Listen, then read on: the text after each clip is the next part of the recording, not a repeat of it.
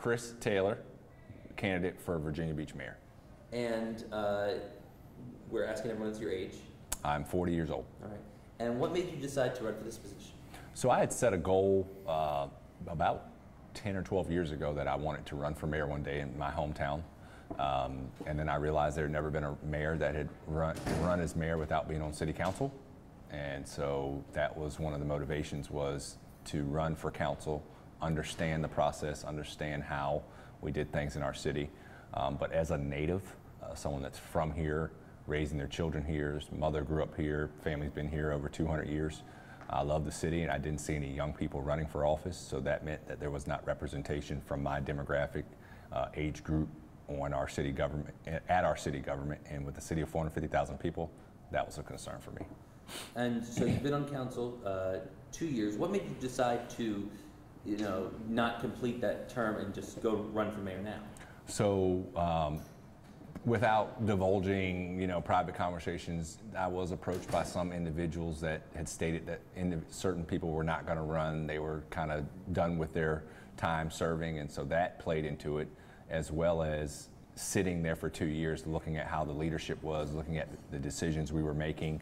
I thought that I could, my skills, talents, and abilities could be better used in the position of mayor, where there's uh, the ability to set the agenda and then also to represent our city on a national, local, regional level uh, with a little bit different, uh, I guess, flavor and, and, leadership style. And what would that leadership style be? So, first, I think uh, we have to have uh, an individual that engages all stakeholders, uh, all parties, all communities. Um, instead, we've had um, instances where if certain special interest groups or certain stakeholders reach out, for instance, the capstone deal, the city council as a group decided we wanted to hear that presentation, yet uh, certain stakeholders from the oceanfront reached out to our current mayor. All of a sudden, the presentation was canned. Look at the aquarium recent ordeal, or I call chaos, where we had uh, the mayor and our vice mayor uh, attend a meeting where the liaison should have been there, should have been there. The liaison was asked not to go, and the motivation was so that there would be no public knowledge of the meeting. That's not leadership for a city of 450,000 people. I'll provide transparency and engage all interested parties versus just those that may or may not have donated to my campaign. Um, the uh, so you donated to your campaign. Are you saying that's why those individuals were taken to that meeting? Would you believe that's well? Not not the individuals that were taken to the meeting, but for instance, uh, we had an, uh, a situation yesterday of, of an issue with supporting the fire uh, with additional medical services. Um, I was very vocal uh, this budget cycle to support our EMS, that we could do support for the fire without collective bargaining. Yet the two individuals that placed it on the agenda with our mayor had just received $30,000 in campaign donations in the last three weeks. From? Fire Union. So maybe there's no correlation there, um, but I take issues based on the merit, not based if you've given to me or supported my campaign. The uh, you talk about campaign finance reports. Uh, you know, the most recent was filed, I believe, last week. Yes. Um, and clearly, you do not have the cash advantage. Uh, one thing that came up to me, uh, it, it, I mean, the incumbent has the cash advantage in this case, which is often the case. Mm-hmm. one thing, though, I did look at is um, campaign finance expenditures too. Mm-hmm. Um, I wanted to ask you about the the SeaWorld Busch Gardens yes. expenditures. What were those about? Yes, so I think um, we have three huge attractions, amusements in the state of Virginia. The aquarium's the third most visited, Kings Dominion and Busch Gardens. So what I did as a millennial, young, not someone that's been running the same campaign, was we ordered baseball jerseys and uniforms that said Chris Taylor on the front 24 for mayor. Uh, one of the cities that's most represented in visitations to Busch Gardens is Virginia Beach.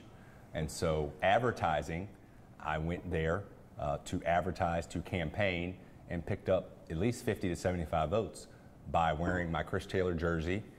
People say, Are you from Virginia Beach? My granddad lives down there. I go to Kellam. You're the Chris Taylor on the signs.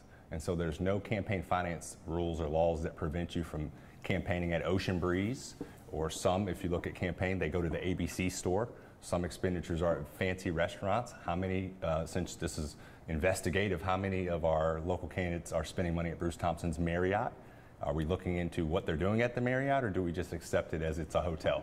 So there's more people at Busch Gardens than the Marriott, and at $149 to have access to thousands of people that may or may not be in our city, uh, I think it was a great expense.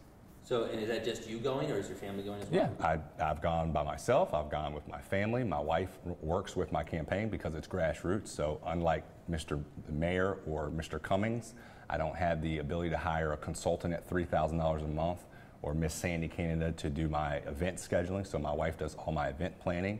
Uh, we have pictures of all of our events and where we go. The kids are in CT for VB hats. So, we are working and there's no difference in Jim Kagan's campaign hiring a bunch of high schoolers and giving them money. I just don't have uh, a million dollar budget.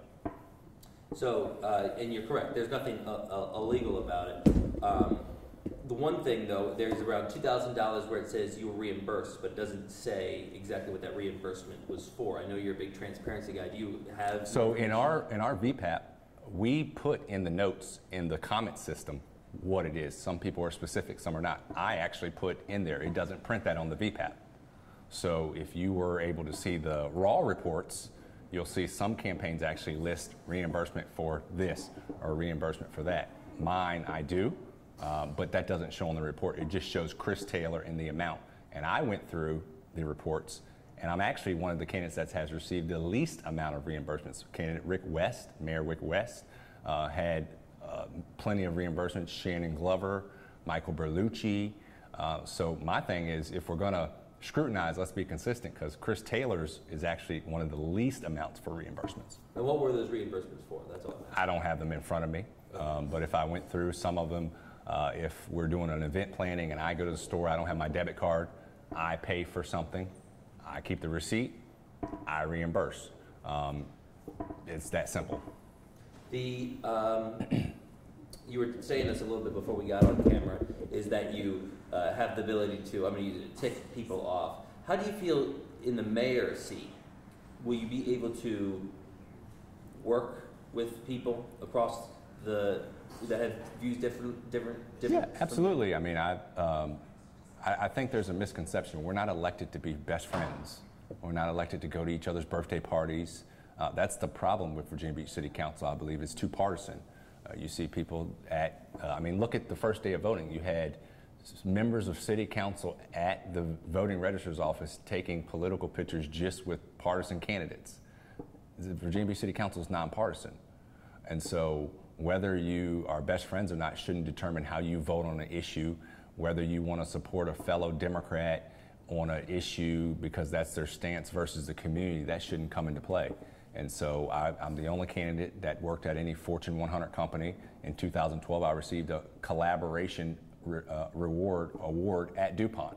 So I don't have an I don't have an issue with collaborating, and that's the concern. Is if you don't get along with someone or you're not at their wedding, people think that there's this conflict or strife. We just don't have to be best friends. And guess what? Politicians and elected officials don't always agree.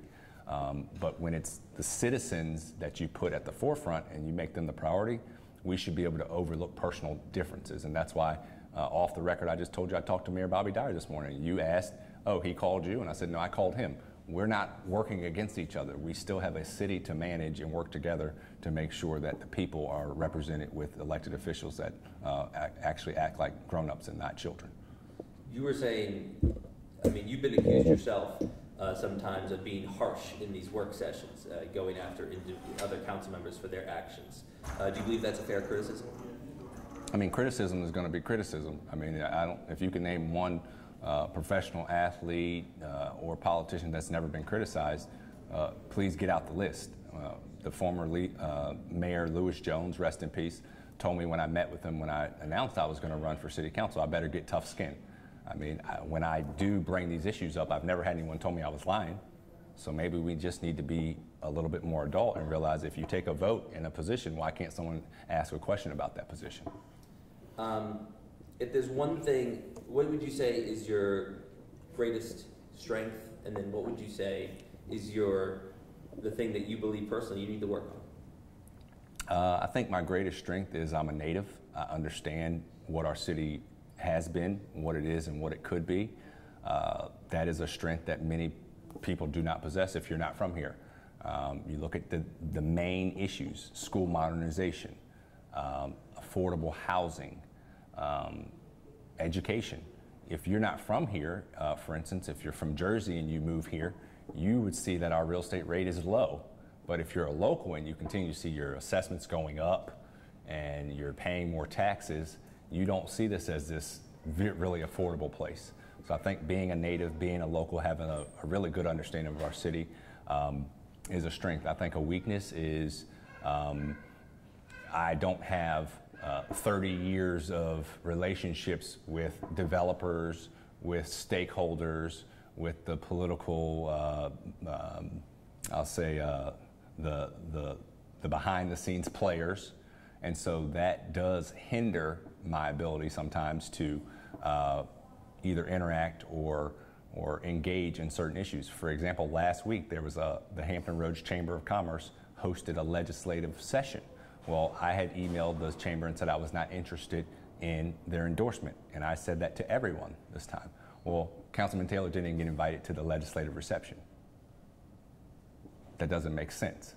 If you invite the city councils of all the cities and the mayors, you should invite all city council members. So a weakness is when you don't have those relationships, when you haven't been entrenched in politics for 30 years, it puts you at a disadvantage. I, bringing up something, um, there's also been criticism that I know you're one of two liaisons to RAC, but you haven't been at uh, more than half of the meetings this year. Why is that? Uh, I emailed the chair of RAC. I was not at a meeting, and one of the RAC members, Michael Mach, uh, made public comments of a private conversation we had that was out of pocket. It was out of line. It was disrespectful. Many people in the room felt he was uh, just out of touch. I emailed the chair and said I had a concern with that. Uh, I worked at DuPont. One of their core values was respect for people. If I have a private conversation with you, I don't take that to a public committee and throw you under the bus, especially as a liaison to city council. And one thing I've seen in this city, because of the cronyism and the partiality, is a lack of respect and honor for those that are actually in the elected position. And so I asked the chair to address uh, Mr. Mach. He didn't want to address Mr. Mach because they were friends. And so I told them I would not be participating as a liaison to these meetings until the issue was addressed. And I'm glad you bring up attendance because there's many council members as these annual reports come out that have less than 50% attendance records. And so you're going to find with Chris Taylor, if you're going to uh, scrutinize, let's look at the whole council. Let's look at all liaisons. Look at the aquarium, Brett. We had an, a, a liaison in Worth Remick that did not go to the most important meeting to acquiesce to the mayor. That's important. So, what's the attendance record for all of our council liaison reports and our and our responsibilities? And so, I don't go to the RAC meetings because there's a lack of leadership, no accountability and responsibility for when members show disrespect to the liaisons, and there's no answer for it. That's not how we're supposed to operate our boards and commissions. But shouldn't you then say, okay, take me off the RAC, I want to go to somewhere else, let someone else do it? that's not my job. That's the job of the vice mayor and the mayor. They appoint liaisons to these commissions. But can't you go to the vice mayor and mayor? and I've say, asked "Hey, Rosemary Wilson to remove me from several, and she has not. okay, That's on the record. all right, that- That's fine, I didn't know that. Yeah, and again, if that's a good point, should all council members that are failing to attend meetings that they don't have an issue with anyone ask to be removed? And the question, the answer would be yes, but why haven't they? We have staff liaisons that have put over 3,000 hours in supporting these boards and commissions. We get reports. Why can't you, do you have to go to every meeting? Can you read the report? Can you read the output from the agenda? Or do you, is the expectation for all council member liaisons to have 80% attendance, 90% attendance? And if that's the case, let's be consistent. On the RAC, though, wouldn't it be, as a mayor, your, you know, your responsibility or someone to be a candidate for mayor to go and try to work that issue out? Which issue? The issue of where you feel there's a. I've spoken to the chair, I've spoken to the vice chair, I've spoken to the individual person. It's their responsibility to be responsive. If they don't respond, I have to keep moving. I'm on 10 boards and commissions. So I don't have any extra responsibility to RAC than I do the BAC, Bayfront Advisory Commission, or the Housing Advisory Board, or the Military Economic Development Advisory Council. So I don't owe RAC any response. I don't owe them anything. And here, the vice mayor was the former liaison. Brett, I'd love you to look at her record because she's on the record saying she didn't go to any of the meetings. That's your vice mayor. So again, my problem, one of the reasons I'm running for mayor, there's a lack of consistency in this city. We don't scrutinize the same things. There's partiality, and people are tired of it. I wanted to ask you about the, uh, go back to the, um, you brought it up, I can't, I can't think of it. Near the convention center, Yes, uh, Capstone. Capstone, thank you, I was gonna say Bridgestone, that's Yeah. not what I was looking for. Uh, did, in that case, you were advocating for him, for, uh, the, the principal there. Mr. to- Norm Jenkins. Mr. Jenkins, to get a, a fair shot- Presentation. Presentation. Is it fair to say, though, you were not necessarily supportive of the project? I've never said I was supportive of the project. But again, you talk about leadership. Our vice mayor, our mayor have no more authority than any council member. How is it there was no concern, and I was going to the RAC meetings at that time too. Again, I don't really like impartiality. I like for us to be fair and consistent. No one asked when I dropped the bomb that Governor Bob McDonnell was going to RAC. That was a RAC meeting. If you remember, Stacy Parker wrote about it. How did I know about that? I was at the RAC meeting, Brett. Subcommittee, yeah. Yeah, subcommittee. I was going to uh, subcommittee meetings. So there's no issue with attendance. It's disrespect. But back to Capstone. We agreed as a council to hear the presentation. That's a fact. The mayor does not have veto power in our charter. The media should be concerned that you have a mayor that acts with outside of their authority. No one said a peep other than Stacy Parker because I reported it. So you have a mayor that called the city manager and they called Norm and said, hey, don't come on Tuesday. It was Friday, as well as the former deputy city manager, Taylor Adams, did not communicate to council. That's a problem. And then canceled the meeting. I talked to Norm that day and he said it went something like this Norm, don't come on Tuesday. It was Good Friday. And he said, What the, what happened? No response. We don't want to hear a presentation. And again, because you're, you want to be consistent as a reporter, the same thing happened with audit for the aquarium. They literally told Lyndon, it's on the record, Brett, don't come on Tuesday to present. Well, they didn't talk to anybody on city council other than the vice mayor, liaison Worth Remick. They don't tell this, the, the auditor what to do. So my issue is not as mayor, will I be able to work together? Will I be able to be a liaison, which the mayor's not a liaison to any boards and commissions? How many have you seen him at? Zero. And so you, we need a mayor that has integrity, that will play fair, and be consistent.